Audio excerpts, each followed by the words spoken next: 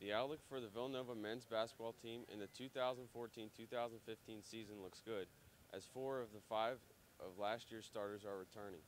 Expectations are high for this veteran team as they look to contend for a national title. For ESPN, this is Matt Knob from the Villanova campus.